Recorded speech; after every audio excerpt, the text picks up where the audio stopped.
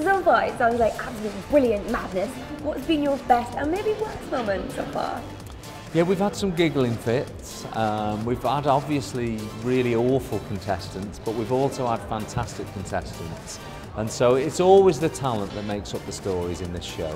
And so if they're good, then we have a good day, and if they're not, then you get this, you know, really perplexed, angry side of us comes out, and it, you know, that's what they love. That's what they love to show. So um, it, it's, it's a really mixed bag. Gary Barlow, you don't get perplexed and angry. Oh, we do. Stop it. Oh, you'll see it all. Really? Yeah. When you're sat in a room for eight hours at a time and they're just getting worse and worse, it's depressing. God. And are you, like me, 1% scared of Sharon Osbourne? Do you know what I was before I met her? Because it's really the first time I've met her properly doing this show.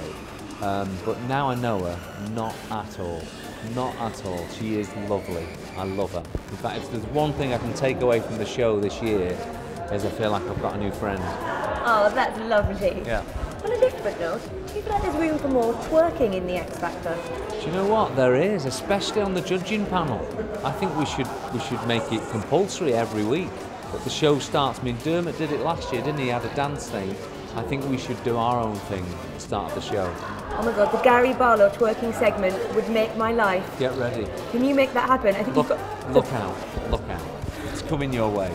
And quickly, do you think there's ever room for an ex-contestant to be on the judging panel? Oh, I think there is, for sure. Because the, I mean, Cheryl Cole was, wasn't she? She was a contestant on Popstars, was it, The Rivals? Rivals, yeah. Um, so yeah, I think I think they make good judges because they've been through the whole process. So uh, I, I would definitely say yes. Who would you pick? I'd probably pick Ollie Murs. I think he's a he's a brilliant. I think he's a brilliant artist, but I thought he was also a brilliant contestant. I want Harry Styles. It's too soon, Can you see him? and I think he's probably doing all right without being on the judging panel. I just sat in his pants probably at home, not much to do. Well, lovely to Nice speak to to meet you. Make this talking happen. I will.